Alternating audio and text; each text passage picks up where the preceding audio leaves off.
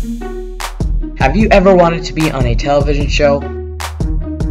Well, here's your opportunity. Kids Under Construction is looking for actors of all ages to be part of this new and exciting television series.